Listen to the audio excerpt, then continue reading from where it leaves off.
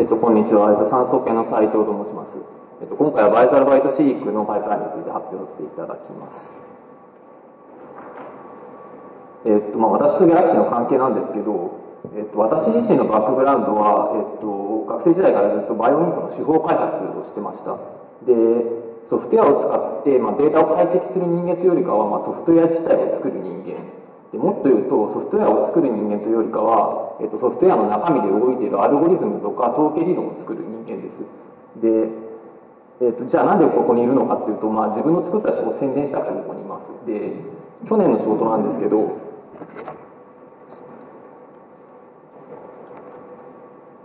えっと去年の仕事なんですけど、バイサルファイトシークのまあ独自の解析書というので、バイサルファイターというのを作って論文を書きました。で、えっと、これをまあ実際にあのウェット系の研究者の方との共同研究で、えっと、使って、えっと、死亡細胞のエピゲノム解析というのを使って、えっとまあ、これも、えっと、論文で発表しております。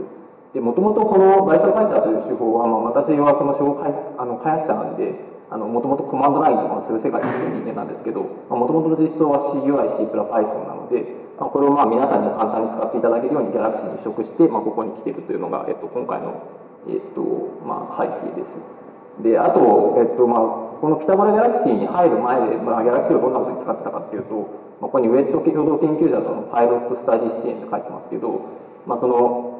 私自身、まあ、解析する人間ではないと言いながら、いろいろな、まあ、オンスプロジェクトを掛け持ちしていろいろやってるんですけども、まあ、そのウェット系の共同研究者の人が、まあ、このデータ試しに解析してみて、まあ、これ、あの、いわゆる論文に載せるような本ちゃんの解析じゃなくて、その、例えば SRA にこういうデータがあって、まあ、論文にこのデータがあって SRA のアイディアはこれなんだけど、まあ、ちょっとこれの遺伝子発見を見てみたいから、ちょっとやってみてくれないとか、まあ、言われるわけです。で、まあ、解析で、まあ、その自分、自前のスパコンとかでこう解析して返すんですけど、ちょっとなんかマーカー要素がよく出てないから、まあ、じゃあこっちの ID もちょっとこれやってみてとか、これがエンドレスで続くわけです。で、まあ、一応自分はこれで、あの、手法を作る側の人間だと思ってると、これにもう延々と付き合ってると、まあ、自分の仕事する時間がないわけです。で、まあ、だったら、まあ、その、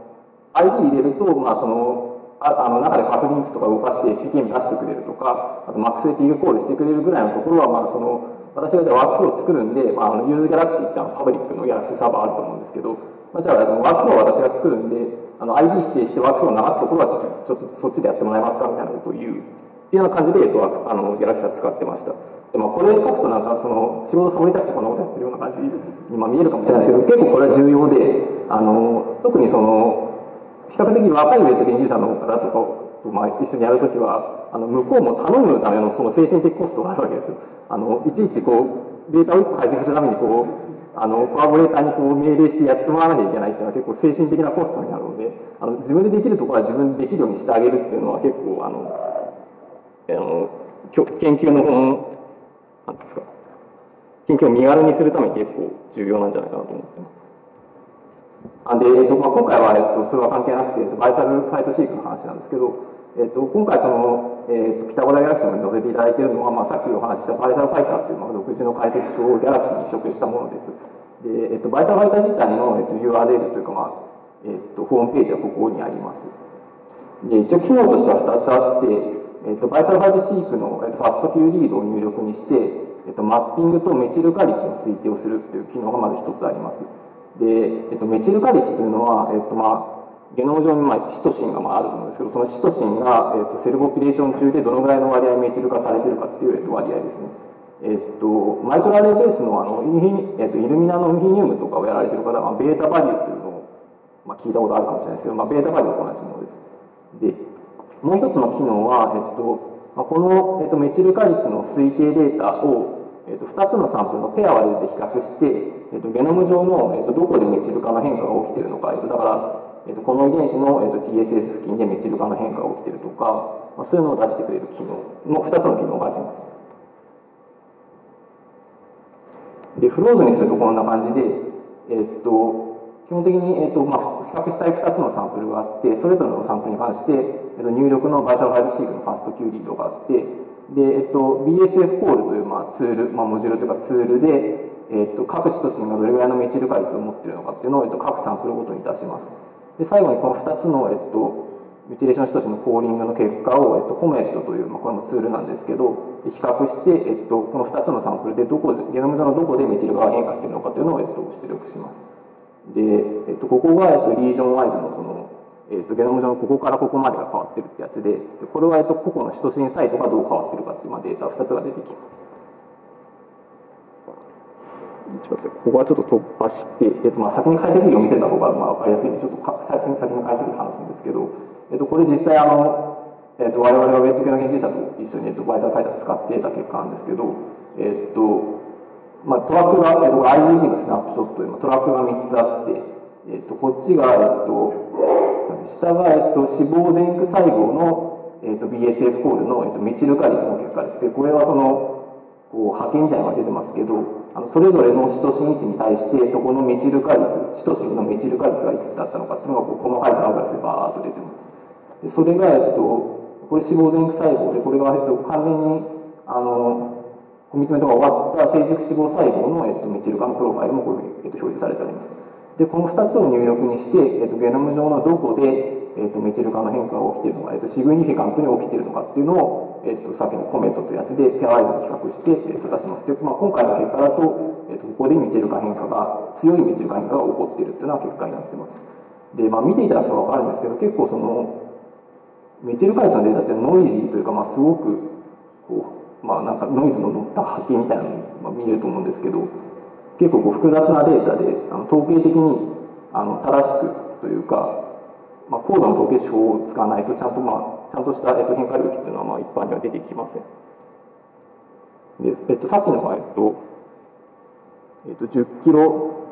ベースの地図で、でまあ、これ拡大するとこんな感じなんですけど、さっきの拡大した2箇所のところっていうのが、まあ、こんな感じになってて、で、見ると、まあ、えっ、まあ、ここの部分とかがまあ変わってるから、まあ、ここが変わってるよって出てるんですけど、結構些細な変化しかしてないことがわかると思います。でもまあ、えっと、えっと、この、えっと、手法がまあこういう些細な変化を捉えて、まあ、ここが変わってるよとまあ言ってるわけです。で、まあ、これを見ると、まあ、じゃあ、本当にじゃあここが合ってるのかっていうのがちょっと気になるわけですけど、まあ、さっきのそのチップとかのデータを見てみると、まあ、これ私がそのマックスで計算したチップのピークなんですけど、ちゃんとここのあのメチルガルのメチルガルのデータのみから、えっと、計算されたメチル化変化領域っていうのはこうぴったりと、えっと、脂肪細胞特異的な転写因子ペーパーバンというのは、えっと、脂肪のマスターレギュレーターがあるんですけどそこの、えっとえっと、結合領域にこうぴったり重なるように、えっと、メチル化の変化領域が出てるっていうのが分かるわけです。で、まあ、これこういうのが分かると、まあ、多層ミックス解析で、えっと、転写因子の結合細胞に特異的な、えっと、DNA メチルが起こってるっていうのが分かるんで、まあ、こういうので、えっとまあ、一緒にえっと、ベッド系の方々がやって論文書いたりとかしてます。で、えっとまあ、今回はアルゴリズムの中で詳しく説明する用意してなかったんですけど、簡単に言うと、えっとまあ、最初に言ったように私たちはその手法を作る側の人間なんで、あの中身は全部、あの例えばマッピングには包帯使おうとか BW 使おうとかじゃなくて、全部自前のツールで動いてます。あの自前の理論を、えっと、実装したプログラムで動いてます。で、えっと、メチルカリの推定を行う、えっと、BSF コールというところは、えっと、酸素ゲノムで開発した、まあ、ラストという独自のマッピングツールがあるんですけど、えっと、それを使ってあ例えばそのビスマルクとかだったら中で包帯が動いてると思うんですけど、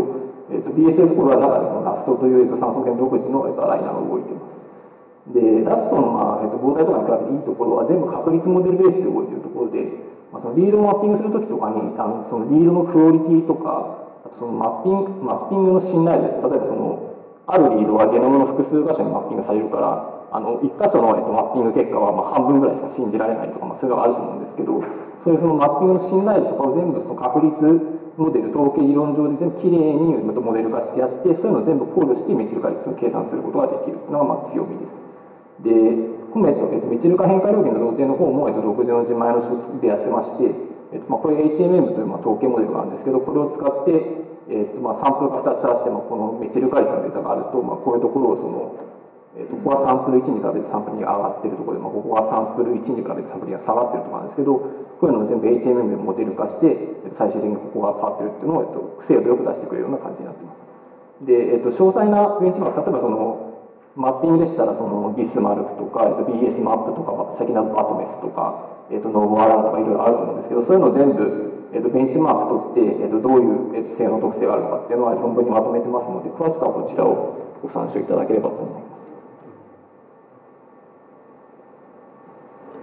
で実際にピタゴラの方に載せていただいているワークの使い方なんですけど、えーとまあ、使い方は簡単で入力は、えー、と2つのサンプルからのファースト Q で、えっと、ここにそのファスト Q と、まあ、セカンドファスト Q スタンダーですけど、えっと、それを指定していただいて、あとそのマッピングするときのリバレンスジノムを何にするかっていうのも指定できるので、えっと、今その載ってるピタゴラの方には多分テストってやつと HG19 ってやつが入ってると思うんですけど、テストってやつはまあこのラップトップぐらいの規模で動くようにまあ作ったやつで、えっと、実際のは、えっと、X 染色体の一部なんですけど、まあ、テストと HG19 ってのが入っていて、まあ、これ随時追加していく予定です。で、えっと、これ指定してやって、えっと、エグゼキュートとかやると、まあ、ちゃんと結果が出ると思います。で、これ出力で、えっと、これは、えっと、メチルか率推定のところの出力、BSF コールの出力なんですけど、えっと、基本的にあの内容はベッドライク、まあ、完全にベッドじゃないんですけど、ベッドライクな、えっと、あのファイルになっていて、えっとまあ、染色体と、えっと、メチル化質としての位置、あとストランドと、あとコンテクストですね、あの C の後が CPG なのか、CPHPG なのか、CPHPH なのかのコンテクストの情報と、あとここはメチル化率ですね。で、あとはカバレッジ、リードが何本貼り付いたのかっていう情報が、えっと、出てきます。で、これは、えっと、メチル化変化領域の検出のところの結果で、えっと、まあ、これも完全にベッドじゃないんですけど、ベッドライクな、えっと、ものが出てきて、えっと、染色体と、えっと、メチル化変化領域の開始位置、終了位置、あと、まあ、サンプル1と2を比べたときに、メチル化が上がってるのか下がってるのかっていう変化の方法と、あと、まあ、変化の強さを表す統計スコアが出てきます。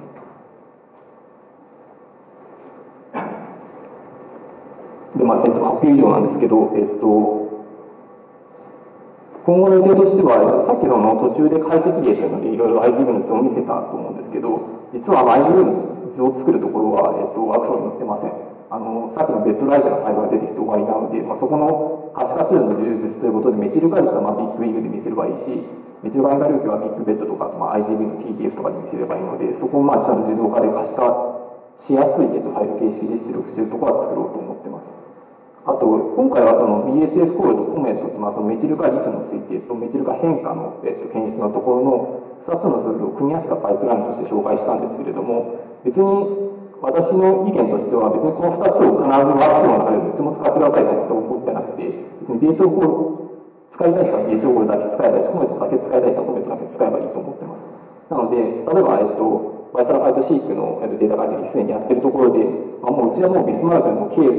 作ってもう何年もこうワークさせてるんだからもう今更その BSF コードとかわけわかんない使いたくないとかいう人も絶対いると思うんですけどだったら別にまあビスマルクはビスマルクでまあ常に使っていただいてもっと仮の解析でもコメントだけを使うとかあるいは逆にえっとコメントのところは、えっと、まあその B スムースとかまあ別のツール使って、えっと、BSF コードのところだけ使いたいとか、そういうのいろいろあると思うんで、えっと、そういうところの普及を目指していきたいと思ってます。で、実はその BSF トールコメントもギャラクシーのツールシェルという、まあ、パッケージのマネージングシステムもあると思うんですけど、そこからもうすでに、えっと、レジスタしてあって、あの普通のどのギャラクシーのインスタンスからでもツールシェルドから簡単にインストール可能なので、まあ、ガンガンインストールして使っていただければと思ってます。で、えっと、これはまあ最後にちょっとギャラクシーは関係ないんですけど、あの基本的にあの私のスキルとしてはアンネシークと、あとチップシークの、えっと、出来合いのツールを使った解析ができます。で、バイトライブシークに関しては、えっと、独自の書を作るぐらいの、えっと、連動であの解析できますので、あの、ギャラクシーに限らず、あの、うちに人生があるんだけど、ちょっと解析してくれないとかいうのがあったら、あの、ぜひ、あの、ご相談ください。よろしくお願いいたします。以上です。ありがとうございました。